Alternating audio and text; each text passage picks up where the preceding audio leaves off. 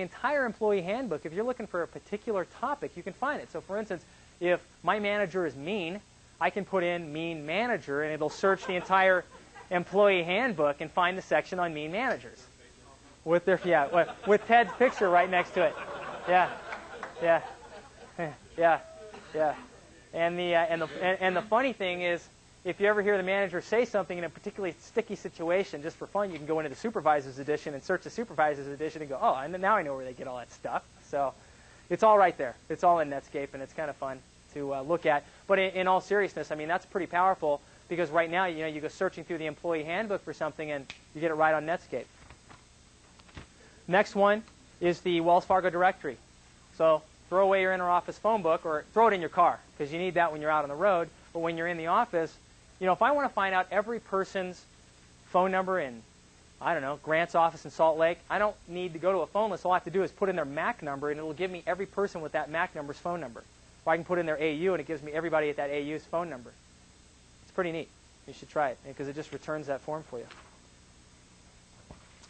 If you go to the next page, please. Um, has anyone used the search engines on Netscape?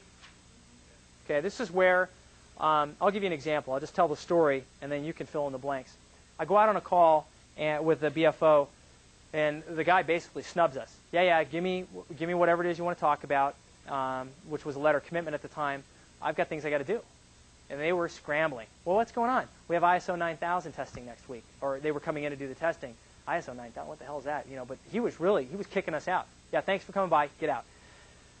So I needed to send him something back over, and I thought, you know what I'm going to do is I went back and I just typed in ISO 9000, and if you'll flip to the next page, oh, actually, I've typed in ISO 9000, stay on the page that you were at, and what it gave me back, if you'll notice, were 6,001 relevant documents to ISO 9000. So I got more information. I mean, you make your head explode. I got more information on ISO 9000. So I pick one of the documents on the first page, and it's the ISO 9000 support group. And what it does is it talks about their mission, it gives you a definition of ISO 9000. So I was able to pull a couple of relevant things out of here. And when I sent the thank you note back to him after our call, I was able to reference a couple of things from the ISO 9000 article. You know, geez, I hope you do okay with the, you know, Sphincter uh, test or whatever. And, uh, um, you know, laminates business card or whatever. But that's the thing that makes you an instant expert. And you can use this stuff and empower yourselves on calls. When you hear a term, when you're with a plas plastic injection molder that you don't understand, pop it in Netscape, I guarantee you it will pull something up, even if it's in German. Um, the next thing is uh, Comps Online. I mean, this is a powerful tool. It's going to get more powerful as things go nationwide. I mean, this is a company that is nationwide. They can give you property-specific comps. They can do sorts online for brokers in your particular area who are the real hitters. In this case, what I just pulled down were um, some brokerages sorted by who's doing business in New York and who's really throwing their weight around. But you can drill down on this to the broker level so you know where to spend time.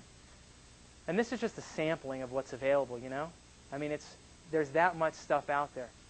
And that's why I wanted to throw all this at you um, and not spend too much time talking about applications, but just give you a sense of possibility for you to use your imagination and just flesh out the landscape. So let me get to the very last slide here, which is, oops. Things to learn, questions to ask.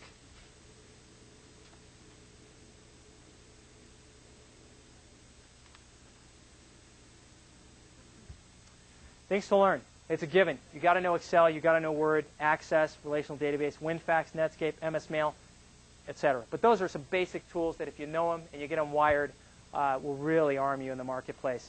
Place I would start, if I learn nothing else right off the bat, is WinFax because WinFax you can attach things to WinFax, but if you knew nothing else, at least WinFax has a cover page thing. So if I want to communicate with, you know, 23 influencers that I work, work with on a regular basis, I can do it through the WinFax cover page, and then I can figure out all the bells and whistles.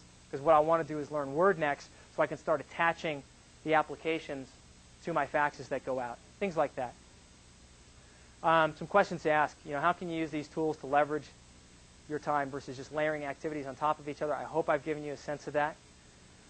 What's not here? There's a lot, especially as technology is changing and they continue to push the envelope. Are you always becoming more employable? I guarantee you, you learn this stuff, you have made yourself a lot more employable and more valuable to this company or any other. Things to consider or things to read. Alvin Toffler, you know, George Gilder, futurist, really into technology. uh, Toffler has this nasty habit that people refer to him as having a nasty habit of getting it right when he's talking about the future and technology. Bill Gates, the road ahead, talks a lot about things that he sees coming in the next couple years, especially uh, related to the internet. So with that, I will open it up for questions, please.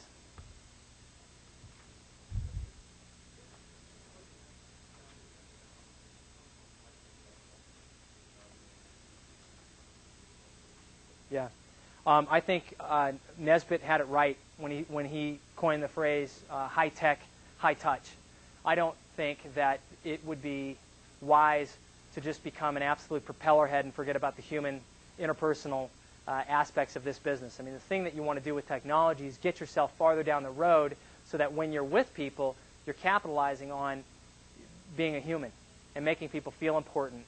But I, I think that's where technology helps with the high touch piece is by getting, you know, if you get that article and you know that 37 people on your phone list would really appreciate having an article that affects their business, and I can just grab manufacturers, throw them over in the fax thing, and send that article on new regulations in Dallas on manufacturing. Um, that's kind of a touch part, but the balance piece is, um, you know, our business, the segment that we deal with, we deal with the owners, and they like they like dealing with their banker, but the technology helps you help them uh, leverage their time and their business as well. Uh, so.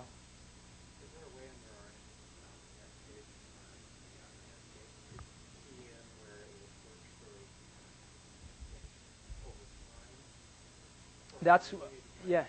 Gates. Well, there's a utility finger, but Gates talks a lot about uh, intelligent assistance, which is software that has already been released in a couple of different versions. But coming down the pike, you'll see a lot more intelligent assistance that well, for instance, the Wall Street Journal is a good example of that. The personal journal, you can put in all the things in your portfolio, all of your interests, and all the stuff about you. You do a bio, and when you log on to the Wall Street Journal, it pulls up your personal journal, which is just populated with articles of your interest, stock quotes on your company, so you don't have to waste your time with the other stuff. But intelligent assistance will take it one step farther based on your preferences and allow you to have these moments of serendipity where it kind of throws something your way that it thinks you'll think are kind of cool.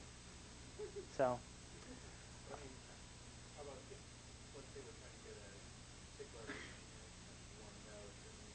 Yeah, well, definitely. I mean, you can look in there right now. Um, I know a lot of the larger, like um, uh, iQuest, some of the ones on CompuServe, the engines where all the magazines and people put up all their text-based stuff.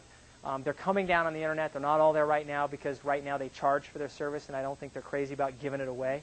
So when they figure out a way to pay for it, um, I think you'll see that a lot more. Yeah. You talk about WinFax, and I know Mark does too, like I told the ones connected on our laptops fax. No, WinFax is on your laptops. You will not see WinFax when you're logged onto the network. You'll see it when you're logged on in standalone mode. Uh, it's there when you're on the network. You just have to find it through File Manager. So when you're doing all this queuing and batching during the day, you can just run it in the background. Um, I asked Dennis McDonald, he's on vacation right now, if he would add the icon to the desktop while you're on the network as well. So you can at least do that stuff during the day, even if you're not sending the faxes right then. And he said he would do that. So it's there, but you're right, you see FaxWorks, and it's a different. Yeah, right. If you change print setup and you print, it will bring up WinFax, even if you're on the network. Yeah. Uh, if, it's, if it's installed on a desktop, you can. Um, LANFax, which is a, a, utility for faxing off of the LAN, works in a lot of areas. It does not work for us in Southern California right now, so it just depends on where you're at. Yeah. Yeah. Um, it's, it's a lot of stuff, isn't it? I mean, it's just a lot of, a lot of stuff, and, and I know it goes fast, but uh, I appreciate your patience. And if you have any questions, I'll be happy to talk to you, you know, throughout the conference. But uh, good luck. Thanks.